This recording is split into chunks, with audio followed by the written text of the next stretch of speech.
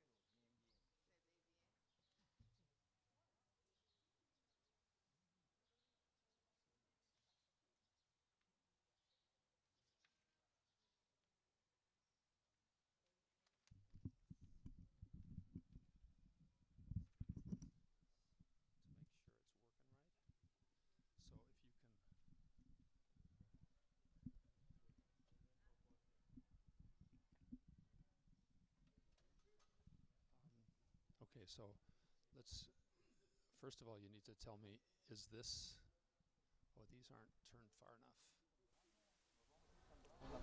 enough. Test, test, test, test, test. Okay, so that one's working. Um.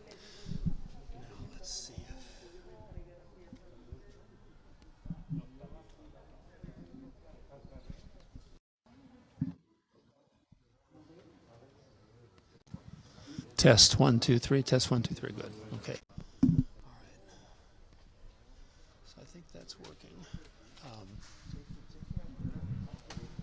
Roberto.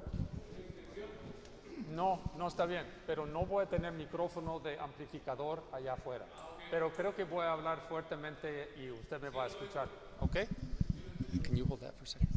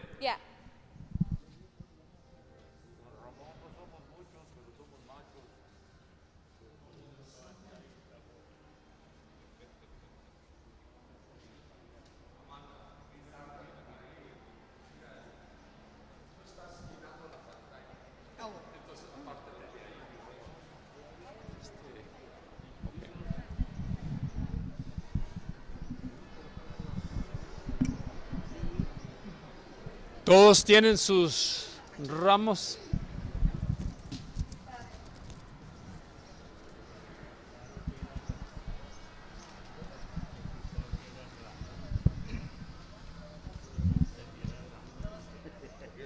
¿Me puede sostener esto, por favor?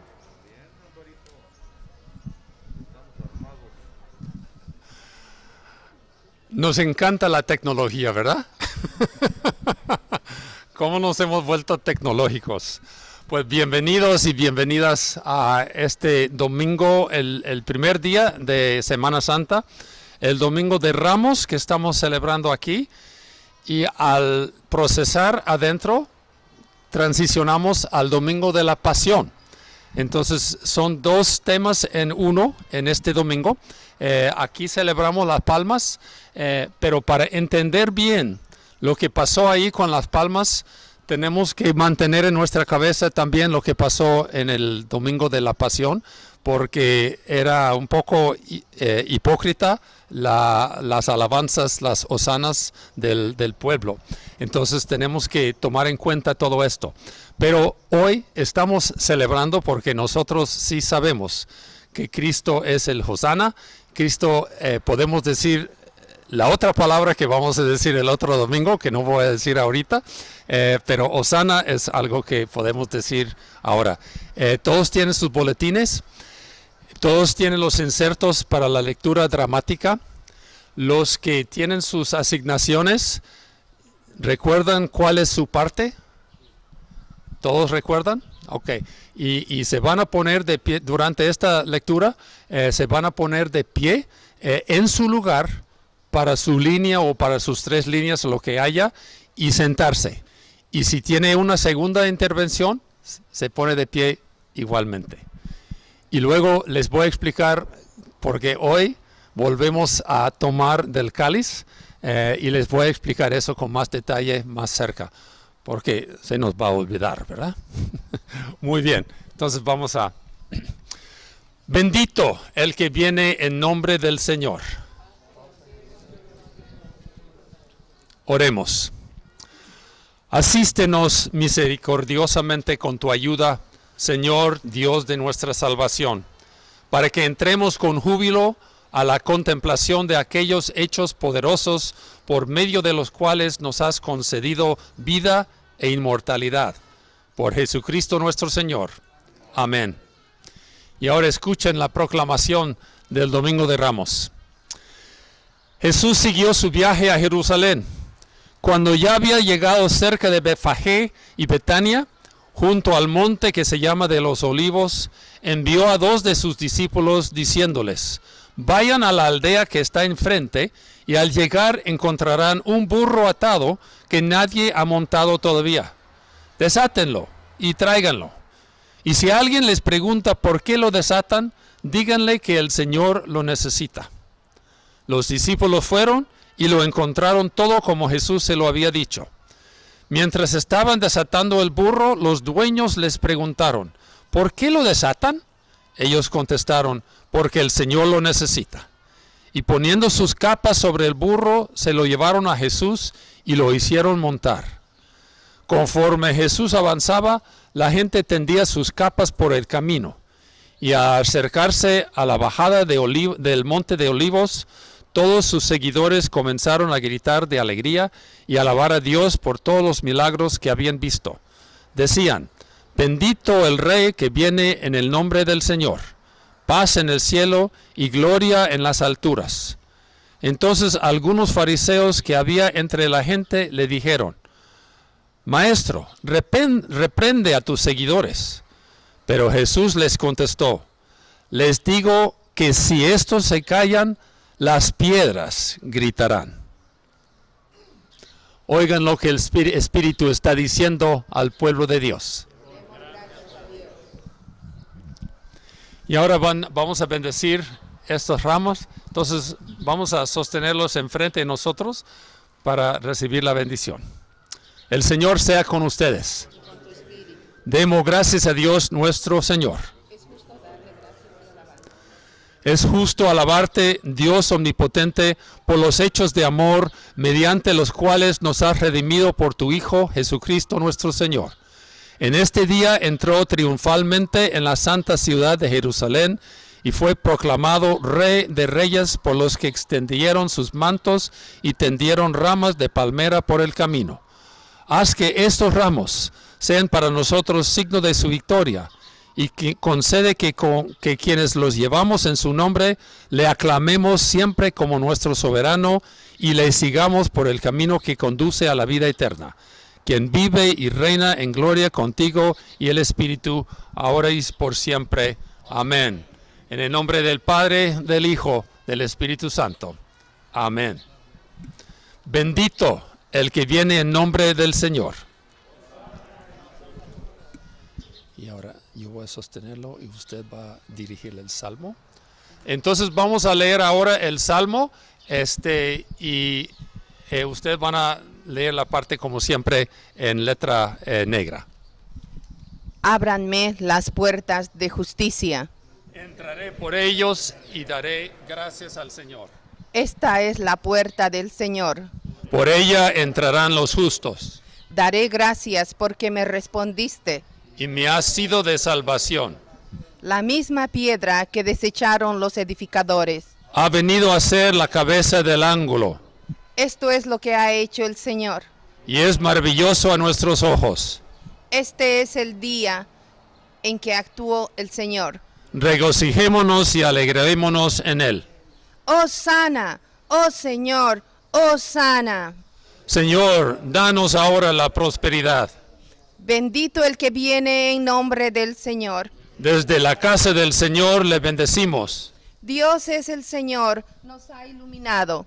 Formen una procesión con ramos hasta los cuernos del altar. Tú eres mi Dios, te daré gracias. Tú eres mi Dios, te ensalzaré.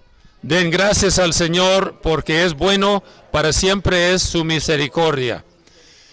Entonces ahora vamos a hacer una transición tecnológica. Esperen un momento y luego vamos a empezar la, la- la procesión. Si eh, David me puede ayudar.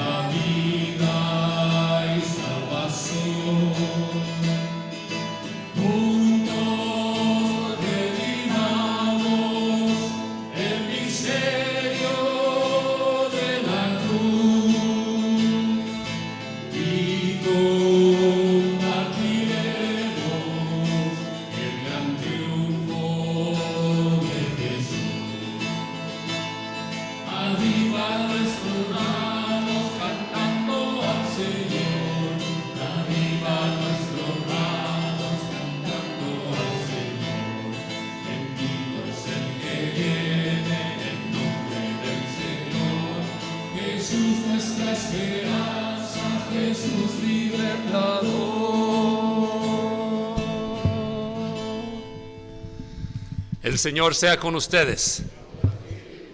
Oremos. Dios omnipotente y eterno, en tu tierno amor hacia el género humano, enviaste a tu Hijo, nuestro Salvador Jesucristo, para asumir nuestra naturaleza y padecer muerte en la cruz, mostrándonos ejemplo de su gran humildad. Concédenos en tu misericordia que caminemos el sendero de su padecimiento y participemos también en su resurrección. Por Jesucristo nuestro Señor, que vive y reina contigo y el Espíritu Santo, un solo Dios, por los siglos de los siglos. Amén. Por favor, tomen sus asientos para escuchar las lecturas.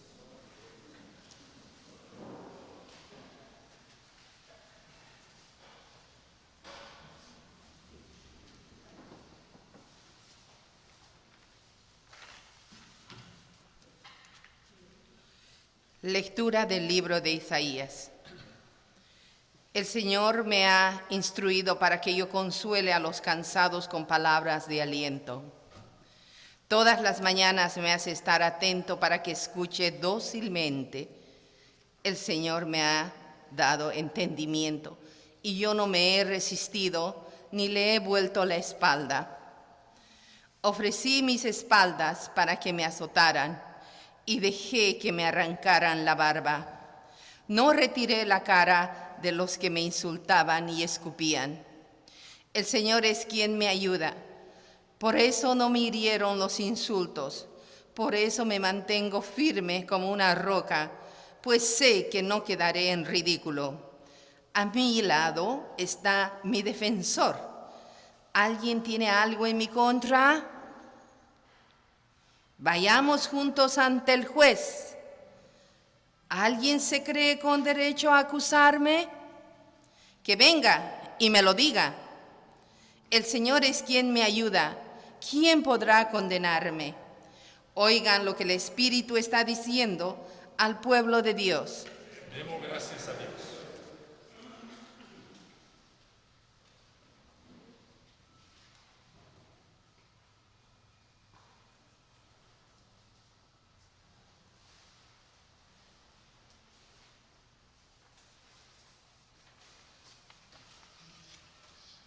De la carta de San Pablo a los filipenses.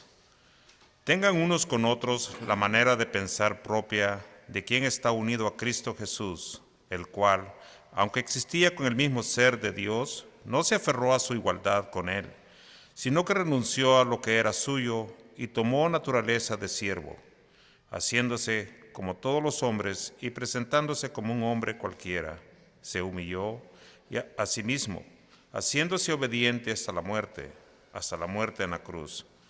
Por eso Dios le dio el más alto honor y el más excelente de todos los nombres, para que ante ese nombre concedido a Jesús doblen todos las rodillas en el cielo, en la tierra y debajo de la tierra. Y todos reconozcan que Jesucristo es Señor, para gloria de Dios Padre. Oigan lo que el Espíritu está diciendo al pueblo de Dios. Demos gracias a Dios.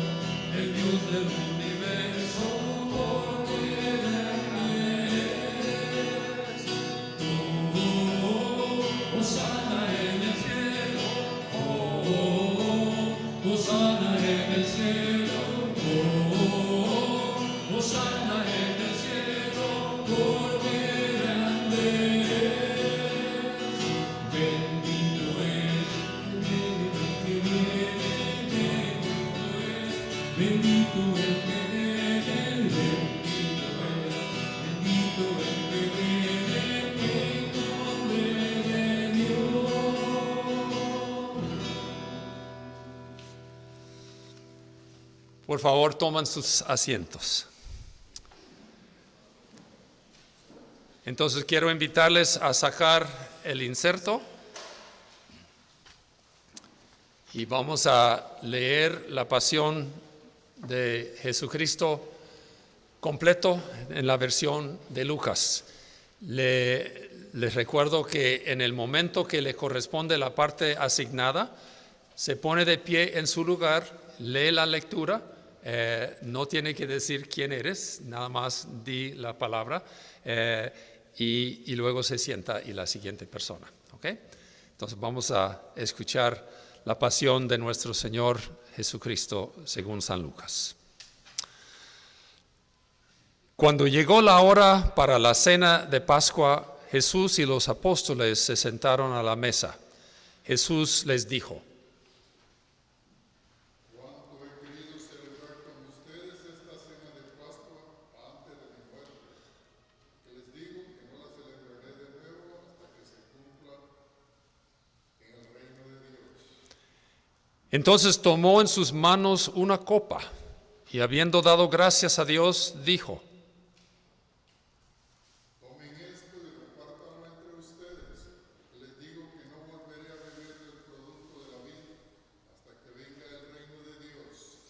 Después tomó el pan en sus manos y habiendo dado gracias a Dios, lo partió y se lo dio a ellos diciendo, Esto es mi cuerpo, entregado a muerte en favor de ustedes. Hagan esto en memoria mía. Lo mismo hizo con la copa después de la cena, diciendo,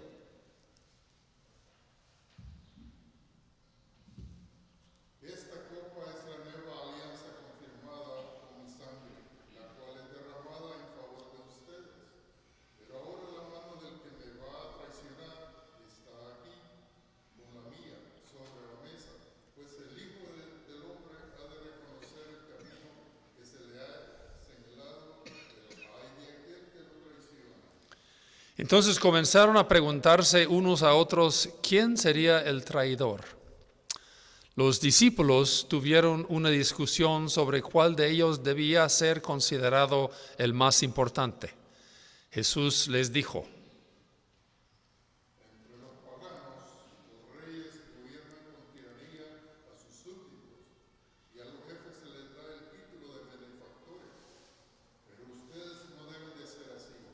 Al contrario, el más importante entre ustedes tiene que hacerse como el más joven, y el que manda tiene que hacerse como el que sirve. Pues, ¿quién es más importante, el que sienta a la mesa a comer o el que sirve? ¿Acaso no es el que se sienta a la mesa? En cambio, yo estoy entre ustedes como el que sirve. Ustedes han estado siempre conmigo en mis pruebas. Por eso yo les doy un reino como mi Padre me lo dio a mí. Y ustedes comerán y beberán a mi mesa en mi reino. Y se sentarán en tronos para juzgar a, los- a las doce tribus de Israel. dijo también al Señor, Simón, Simón, mira que Satanás los, los ha, pe- los ha pedido a ustedes para sacudirlos, como si fueran trigo. Pero yo he rogado por ti, para que no te falle la fe. Y tú, cuando te hayas vuelto a mí, ayuda a tus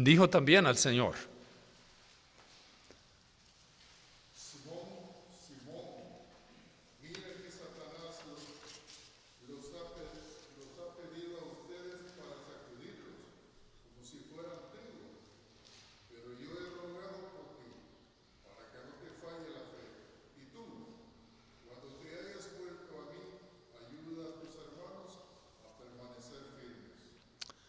Simón le dijo,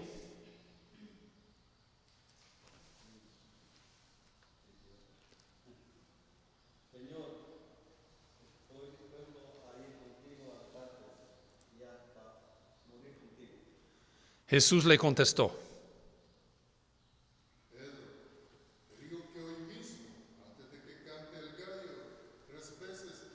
que me conoces. luego Jesús les preguntó,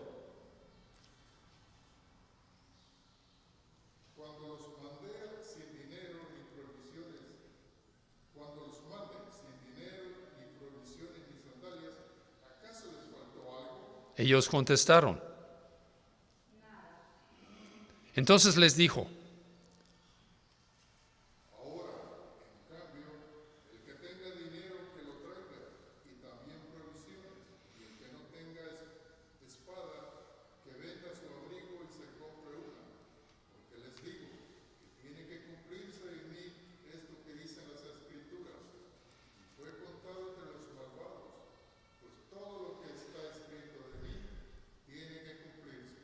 ellos dijeron.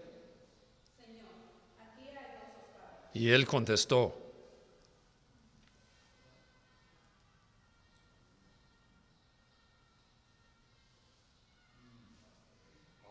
basta. Basta ya. ya.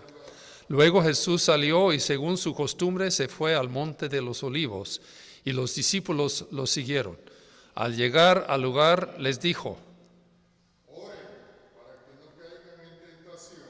Se alejó de ellos como la distancia de un tiro de piedra y se puso de rodillas para orar. Jesús dijo.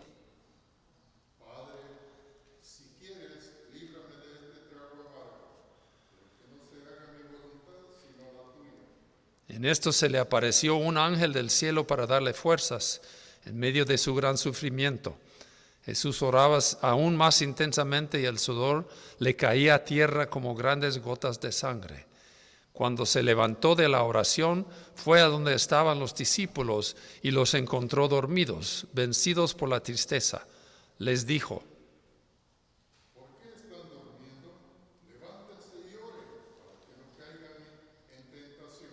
Todavía estaba hablando Jesús cuando llegó mucha gente. El que se llamaba Judas, que era uno de los doce discípulos, iba a la cabeza. Este se acercó a besar a Jesús, pero Jesús le dijo,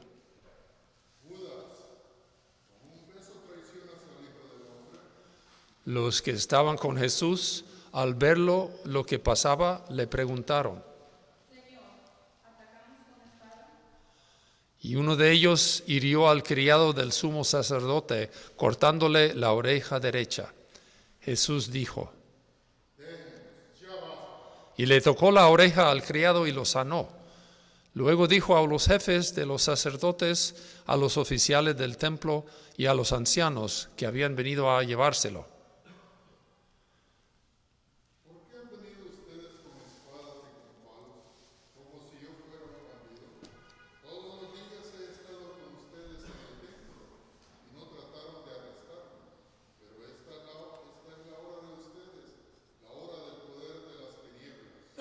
Arrestaron entonces a Jesús y lo llevaron a la casa del sumo sacerdote.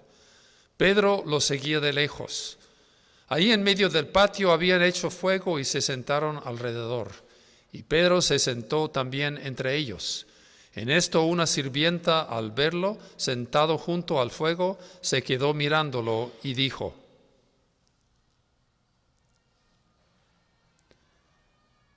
También éste estaba con él. Pero Pedro lo negó, diciendo, Poco después otro lo vio y dijo, Pedro contestó,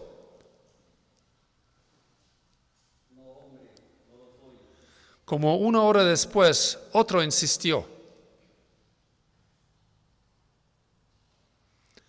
Seguro que éste estaba con él, además es de Galilea. Pedro dijo,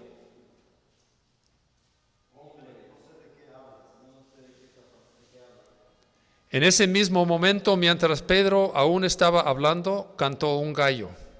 Entonces el Señor se volvió y miró a Pedro, y Pedro se acordó de que el Señor le había dicho.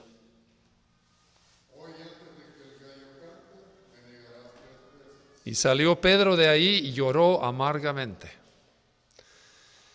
Los hombres que estaban vigil- vigilando a Jesús se burlaban de él y lo golpeaban. Le taparon los ojos y le preguntaban.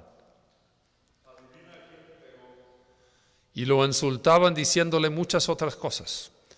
Cuando se hizo de día, se reunieron los ancianos de los judíos, los jefes de los sacerdotes y los maestros de la ley, y llevaron a Jesús ante la Junta Suprema.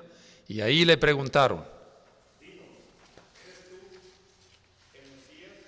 Él les contestó, Si les digo que sí, no me van a creer.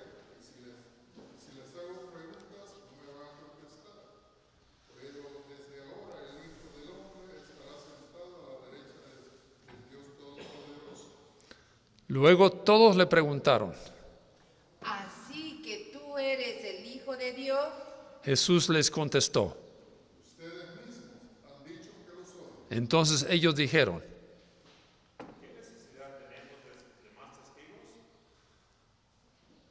Nosotros mismos lo hemos oído de, tus, de sus propios labios. todos de la Junta Suprema se levantaron y llevaron a Jesús ante Pilato. En su presencia comenzaron a acusarlo, diciendo,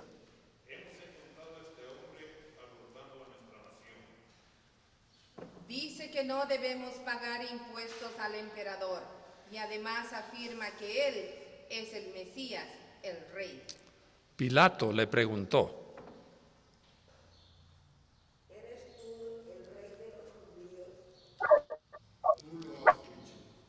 contestó Jesús. Entonces Pilato dijo a los jefes de los sacerdotes y a la gente,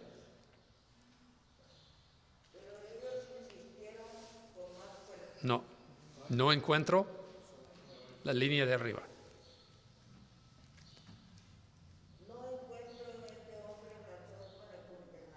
Pero ellos insistieron con más fuerza.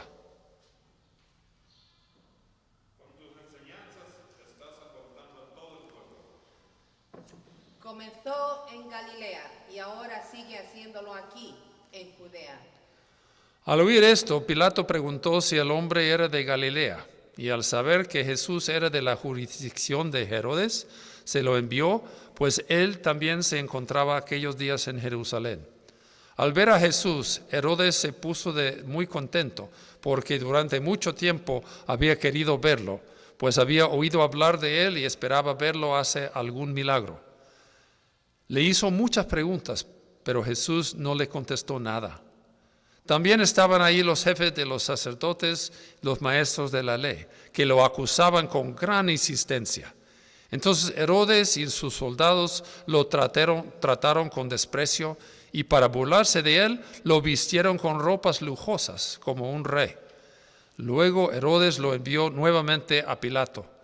Aquel día se hicieron como amigos Pilato y Herodes, que antes eran enemigos.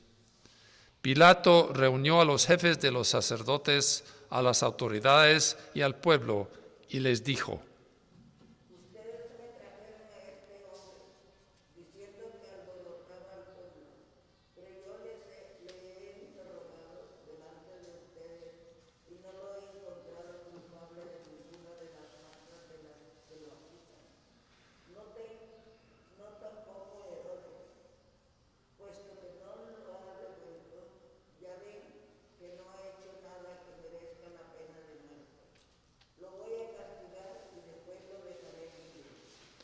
Pero todos, y les invito a todos, todos juntos comenzaron a gritar, todos, fuera con ese, déjanos libre a Barrabás. A este Barrabás lo habían metido en la cárcel por una rebelión ocurrida en la ciudad y por un asesinato. Pilato, que quería dejar libre a Jesús, les habló otra vez, pero ellos gritaron más alto, todos, "Cruci- crucifícalo. Por tercera vez Pilato les dijo,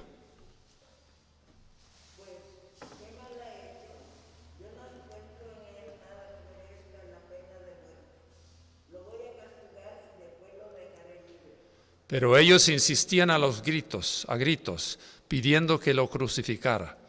Y tanto gritaron que consiguieron lo que querían. Pilato decidió hacer lo que le estaban pidiendo, así que dejó libre al hombre que habían escogido.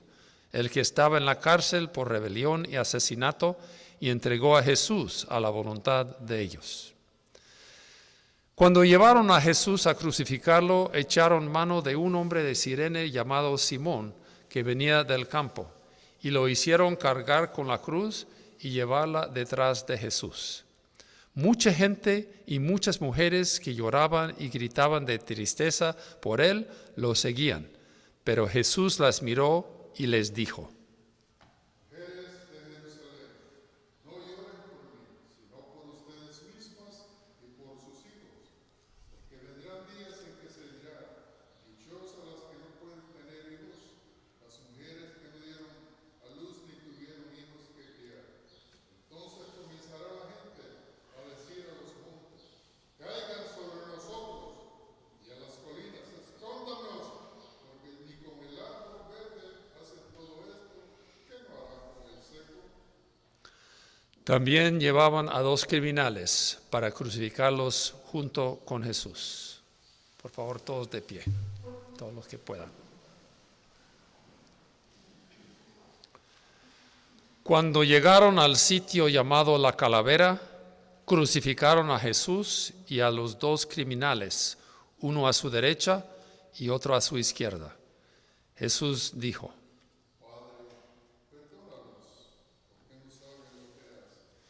Y los soldados echaron suertes para repartirse entre sí la ropa de Jesús. La gente estaba ahí mirando y hasta las autoridades se burlaban de él, diciendo,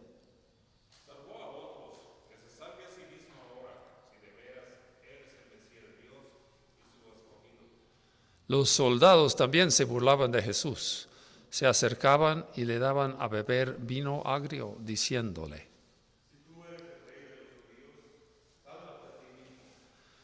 Y había un letrero sobre tu su cabeza que decía, este es el rey de los judíos. Uno de los criminales que estaban colgados lo insultaba. Si tú eres el Mesías, sálvate a ti mismo y sálvanos también a nosotros. Pero el otro reprendió a su compañero diciéndole,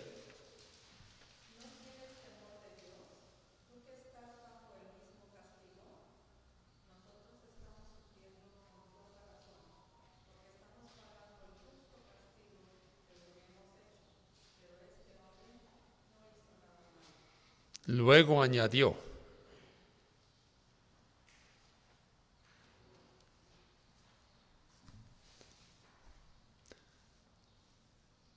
Jesús, acuérdate de mí cuando comiences a reinar. Jesús le contestó,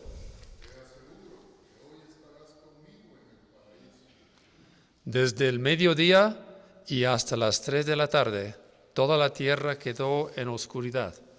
El sol dejó de brillar y el velo del templo se rasgó por la mitad. Jesús gritó con fuerza y dijo,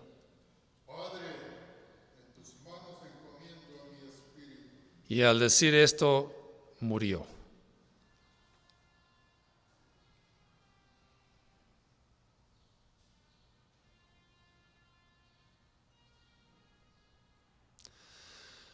Cuando el capitán romano vio lo que había pasado, alabó a Dios diciendo,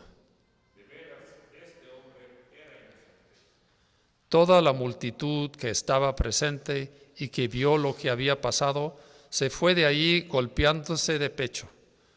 Todos los conocidos de Jesús se mantenían a distancia. También las mujeres que lo habían seguido desde Galilea estaban ahí mirando. Había un hombre bueno y justo llamado José, natural de Arimatea, un pueblo de Judea. Pertenecía a la Junta Suprema de los Judíos. Este José, que esperaba el reino de Dios y que no estuvo de acuerdo con lo que la Junta había hecho, fue a ver a Pilato y le pidió el cuerpo de Jesús. Después de bajarlo en la cruz, lo envolvió en una sábana y de lino y lo puso en un sepulcro excavado en una peña, donde todavía no habían sepultado a nadie. Era el día de, la preparación para el sábado, ya que estaba a punto de comenzar. Las mujeres que habían acompañado a Jesús desde Galilea fueron y vieron el sepulcro y se fijaron en cómo habían puesto el cuerpo. Cuando volvieron a casa, prepararon perfumes y ungüentos. Las mujeres descansaron el sábado conforme al mandamiento. El Evangelio del Señor.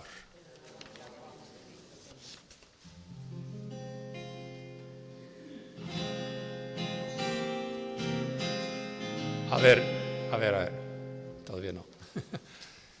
y ahora que las palabras de mi boca y las meditaciones de nuestros corazones nos ayuden a saber y a caminar y ser nosotros mismos en medio de tantas amenazas que nos rodean.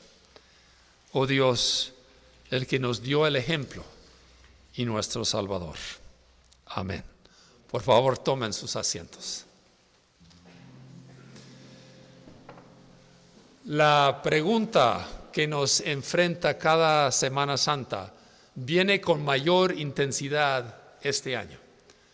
Y esta es, ¿cómo nos mantenemos fieles a quienes somos y a la comunidad cuando estamos amenazados por todos lados cada vez que manifestamos nuestra verdad? Isaías presenta al siervo sufriente como alguien que se negó a sacrificar sus valores bajo amenaza. Dice, ofrecí mis espaldas para que me azotaran y dejé que me arrancaran la barba. No retiré la cara de los que me insultaban y escupían. Y el salmista canta, mis enemigos me encuentran vergonzoso, mis vecinos mueven la cabeza, todos los conocidos me temen, los que están en la calle huyen. El Evangelio describe la respuesta de Jesús a la amenaza. En su angustia oró más fervientemente y su sudor se convirtió en grandes gotas de sangre y cayendo al suelo. Cada semana estamos viendo más horrores desenvolverse en Ucrania. Y los ucranios están luchando con armas militares, aunque son mucho más débiles que las utilizadas por los rusos. Pero su principal arma ha sido el sufrimiento no provocado que se les ha infligido y su insistencia en no negar su identidad, no negar quiénes son. Somos ucranios. Su testimonio ha desatado una energía moral en todo el mundo. El espíritu de permanecer fieles a sí mismos les está dando victorias sorprendentes a los ucranios, aunque esas victorias deben sentir más como pérdidas para la mayoría de ucranios al soportar las escenas bárbaras en sus vecindarios. También nosotros hemos sido testigos de lo que la primera jueza de la Corte Suprema, Ketanji Jackson, tuvo que pasar para ser fiel a sí misma y a su comunidad. Ella es la más reciente de una larga lista de individuos marginados que han logrado el éxito en una sociedad donde no se le esperaba que lo lograran. Muchos han notado el notable temperamento judicial de la jueza Jackson en medio de los ataques. Escribieron, en todo momento se ha comportado con gracia y dignidad. Y los que lo vimos somos testigos de eso. Pero ¿cuánto le ha costado a Jackson permanecer tan calmada frente a tantas amenazas? Un artículo sugiere que Jackson tenía que mantener la calma o ella sería etiquetada como la mujer negra rabiosa. Otro artículo opinó que en sus audiencias el país se dio cuenta de su tendencia, la tendencia del país, a exigir que aquellos cuyas vidas han sido marcadas por las fallas del país finjan que el país no tenga ninguna falla. Fuerte. Algunos han comparado sus audiencias con la primera temporada del famoso beisbolista negro Jackie Robinson. Ustedes saben que Jackie Robinson hace muchas décadas fue el primer beisbolista negro y sufrió mucho en las grandes ligas. Una vez él describió el, el diálogo interno que él sostenía cuando se enfrentaba el ataque constante a su identidad. Reconoció haber tenido la atención de dejar de estar tan calmado como la jueza Jackson también tuvo que ser. Él describió su diálogo interno. Dijo, al diablo con la imagen del paciente monstruo negro que se suponía que debía crear. Podía tirar mi bate al suelo, caminar hacia el dugout de los Phillies, agarrar a uno de esos blancos hijos de y quebrar sus dientes con mi despreciado puño negro. Entonces podría alejarme de todo. Nunca me habría convertido en una estrella del deporte, pero mi hijo podría decirle a su hijo algún día lo que su papá podría haber sido si no hubiera sido demasiado hombre. Por suerte, Jackie Robinson decidió seguir luchando contra esos impulsos. Pero nunca debemos olvidar el costo que él y todos los demás, y quizá algunos de ustedes, han tenido que pagar para lograr el éxito al resistir expresar emociones justificables. Hermanas y hermanos, ser fiel a nosotros mismos y a la comunidad nunca es fácil. Pero es más fácil para unos que para otros.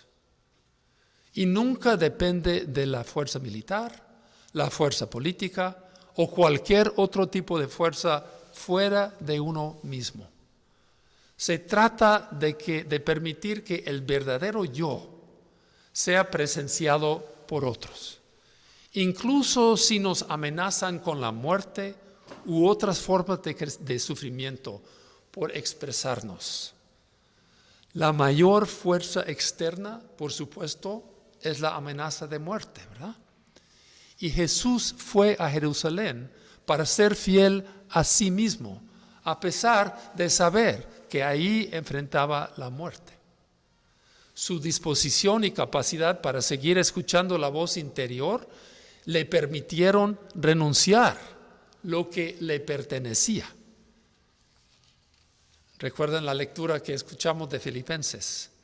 Él no consideraba la igualdad con Dios como algo para ser explotado, sino que se vació a sí mismo tomando la forma de un esclavo. La Semana Santa nos muestra cómo se ve ser fieles a nosotros mismos. Nos invita a observar cómo Jesús respondía a las amenazas que le llegaron de afuera. En Nazaret, su pueblo natal, se presentó ante sus vecinos como el siervo especial de Dios. Pero eso lo alejó de su comunidad de origen, sus vecinos. Cuando luego entendió que necesitaba renunciar a los derechos que acompañaba a esa vocación y misión, su nueva comunidad reaccionó.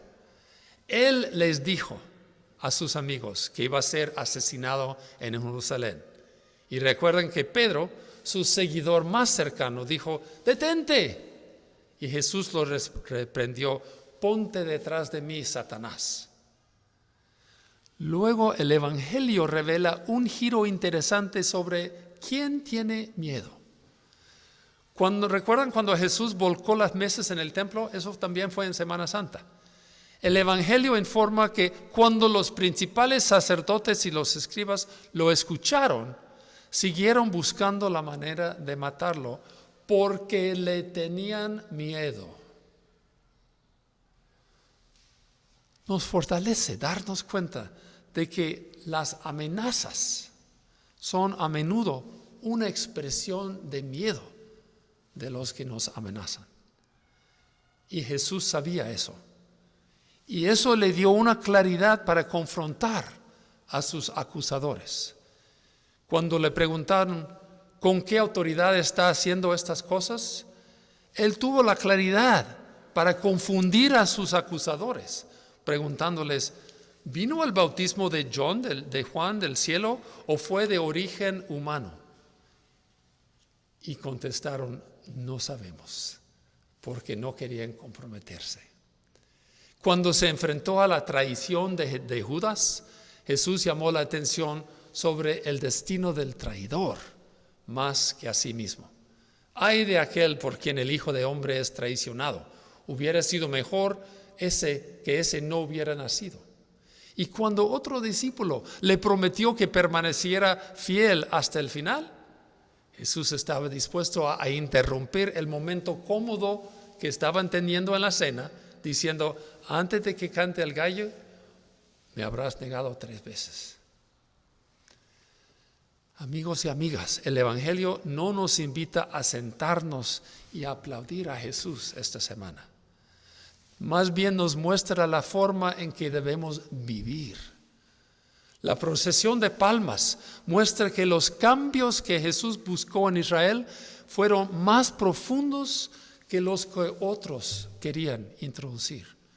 Jesús sabía que estos cambios no se podían lograr por medio de la violencia y por eso no entró en Jerusalén como en una carroza como un rey conquistador.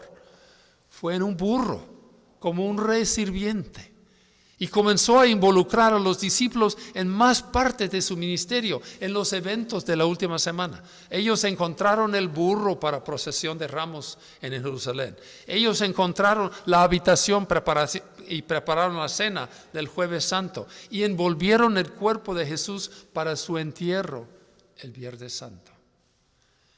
Entonces el Evangelio muestra una y otra vez lo difícil que es seguir ese camino más profundo como discípulo de Jesús. Es más arriesgado, es más lento, es menos elegante de lo que nos imaginamos. Significa pasar más tiempo en la cocina que en el comedor, más tiempo en el taller que en la tienda, más tiempo buscando burros que cantando Osana. A partir de la Pascua, las lecciones exploran cómo se ve eso después de la resurrección. Hay mucho más que aprender. Quiero terminar con lo que dijo un autor claramente. El camino de la cruz, que es el camino de esta semana, es una forma de absorber el dolor, no de infligirlo a los demás. Es un camino que transforma el dolor de ser un impulso para destruir en un poder para crear. Cuando entregamos nuestros corazones al mundo, nuestros corazones se quebrantarán, pero se quebrantan para convertirse en canales para un amor mayor que el nuestro. Solo cuando el dolor se transforma por el amor, vendrá la verdadera revolución, la que prometa traer el reino de Dios. Vamos a vivir ese amor, vamos a caminar ese camino a la cruz, esta semana y toda la vida. Amén.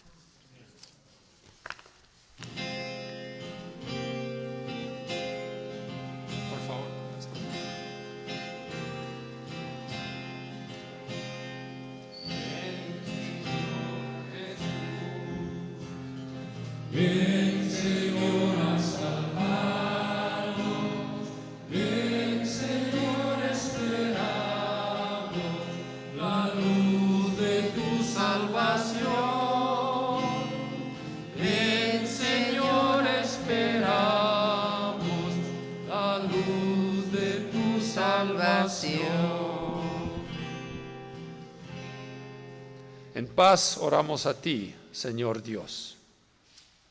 Vamos a hacer la oración de los fieles. En paz oramos a ti, Señor Dios, por todos los seres humanos en su vida y trabajo diarios, por nuestras familias, amigos y vecinos, y por los que están solos, por esta comunidad, por esta nación y por el mundo entero, por cuantos trabajan por la justicia, la libertad y la paz, por el uso justo y adecuado de tu creación, por las víctimas del hambre, el temor, la injusticia y la opresión, por cuanto se hallan en peligro, tristeza o cualquier otra adversidad, por los que ministran a los enfermos, a los desamparados y a los necesitados, por la paz y la unidad de la Iglesia de Dios, por todos los que proclaman el Evangelio y cuantos buscan la verdad, por Michael, nuestro primado, y por John y Diane, nuestros obispos, y por todos los obispos y demás ministros, por todos los que sirven a Dios en su iglesia, por las necesidades e intereses especiales de esta congregación. por quienes oramos en este día.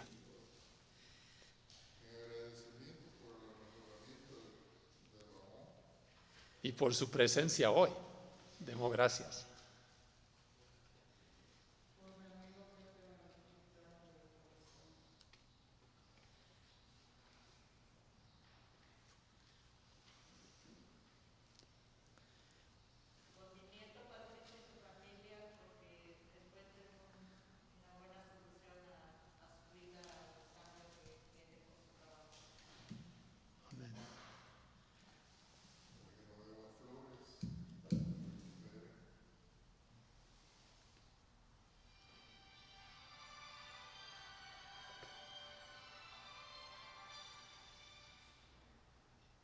Y por los ucranios dentro de su país y por los 10 millones de refugiados esparcidos en otros lugares.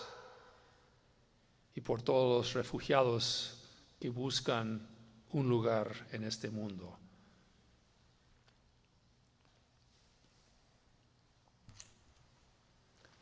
Atiéndenos, Señor.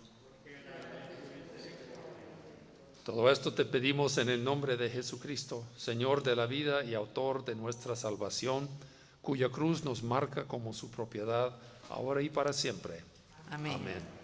La paz del Señor sea siempre con ustedes. Y con tu espíritu. Vamos a saludarnos con esa paz.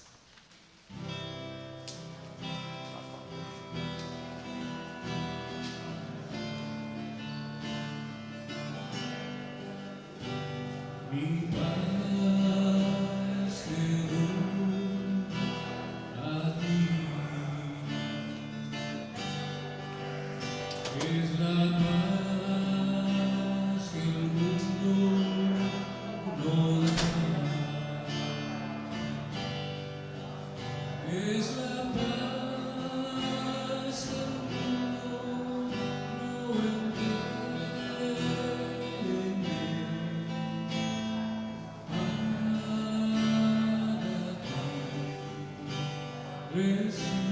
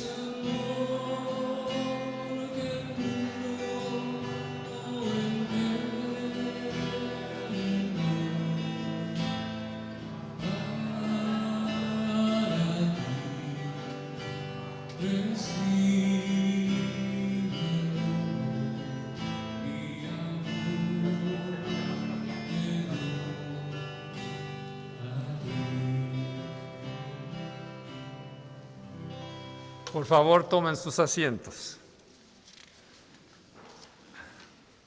Pues bienvenidos, bienvenidas los que no estaban ahí cuando dimos la primera bienvenida. Quiero decirles que eh, hoy van a tener una reunión después del servicio eh, en el salón Jonathan Daniels. Eh, entonces, después del servicio pueden subir por la escalera al segundo piso y creo que ahí eh, pueden tomar su, eh, su café y su pan eh, y ahí van a tener ah, una reunión. Entonces, les invitamos a pasar ahí después del servicio. Y esta semana tenemos las actividades el jueves, de Jueves Santo, aquí mismo, vamos a lavar los pies para los que quieran eh, y, ustedes pueden participar siendo lavados y lavando los pies de otros. Y también vamos a tener la comunión. Y el viernes la, eh, vamos a hacer las estaciones de la cruz y la veneración de la cruz, eh, un día muy importante, de suma importancia, especialmente para preparar para el domingo de resurrección, que el domingo próximo aquí a las 9 estaremos de vuelta para celebrar la resurrección.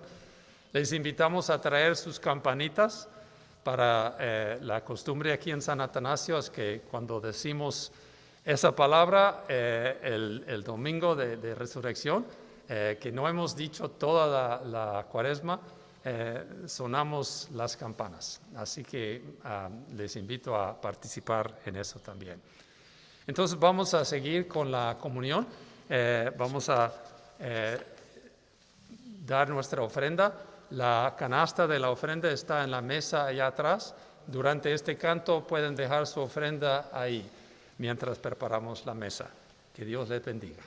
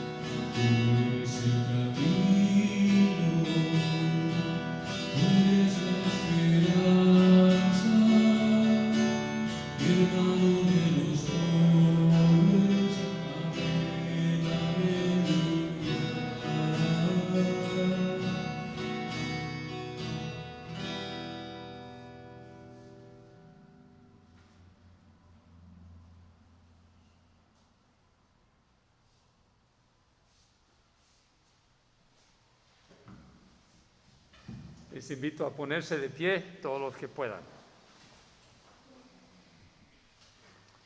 El Señor sea con ustedes. Elevemos los corazones. Demos gracias a Dios nuestro Señor. En verdad es digno, justo y saludable darte gracias en todo tiempo y lugar, Padre omnipotente, Creador de cielo y tierra.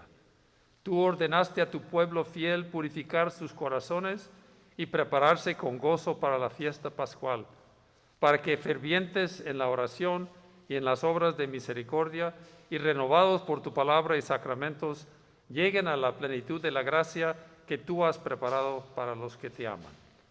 Por tanto, te alabamos uniendo nuestras voces con los ángeles y arcángeles y con todos los coros celestiales que, proclamando la gloria de tu nombre, por siempre cantan este himno.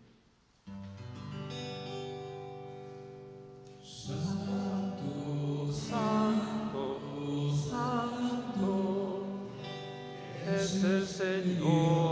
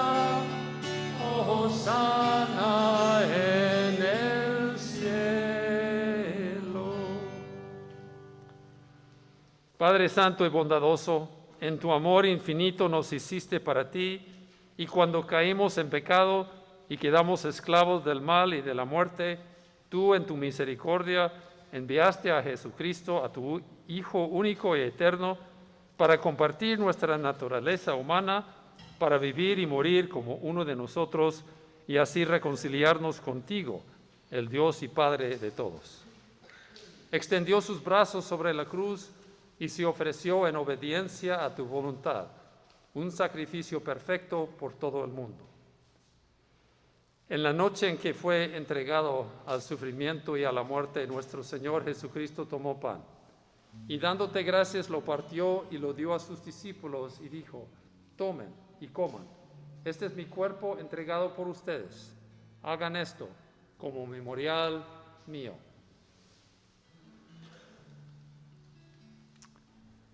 Después de la cena, tomó el cáliz y dándote gracias, se lo entregó y dijo, beban todos de él. Esta es mi sangre del nuevo pacto, sangre derramada por ustedes y por todos para el perdón del pecado. Siempre que lo beban, háganlo como memorial mío.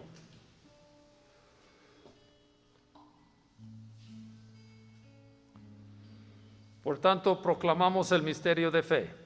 Cristo ha muerto, Cristo ha resucitado, Cristo volverá. Padre, en este sacrificio de alabanza y acción de gracias, celebramos el memorial de nuestra redención. Recordando su muerte, resurrección y ascensión, te ofrecemos estos dones. Santifícalos con tu Espíritu Santo, y así serán para tu pueblo el cuerpo y la sangre de tu Hijo, la santa comida y la santa bebida de la vida nueva en Él que no tiene fin. Santifícanos también, para que recibamos fielmente este santo sacramento y seamos perseverantes en tu servicio en paz y unidad. Y en el día postrero, llévanos con todos tus santos al gozo de tu reino eterno. Y todo esto te pedimos por tu Hijo Jesucristo, por Él y con Él y en Él, en la unidad del Espíritu Santo. Tuyo son el honor y la gloria, Padre omnipotente, ahora y por siempre. Amén. Oremos como nuestro Salvador Cristo nos enseñó.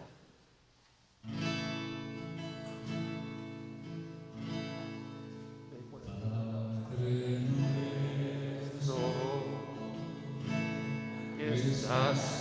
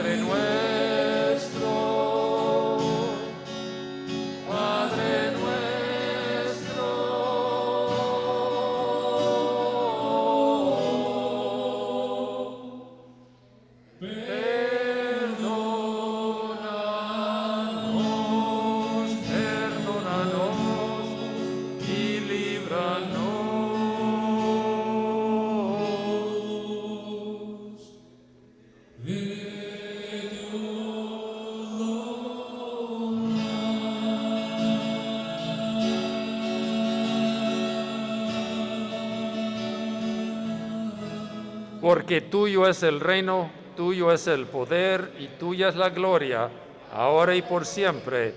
Amén.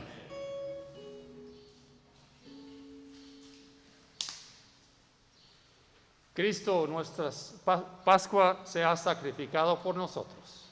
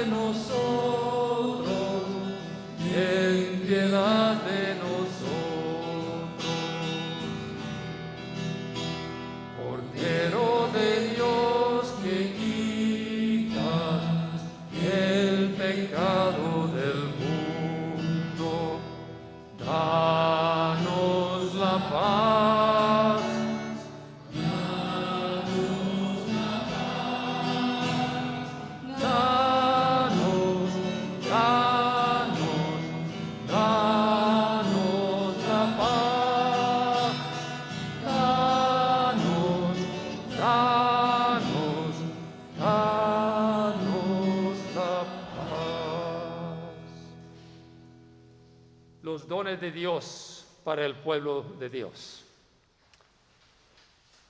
Les quiero dar instrucciones sobre la Eucaristía hoy.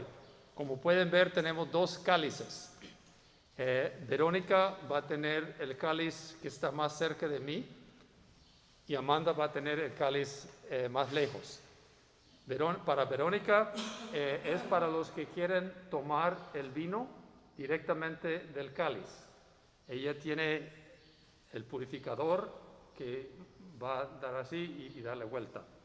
Los que prefieren tomarlo por intención van a usar esto y van a tomar la hostia de mí y llevárselo a Amanda.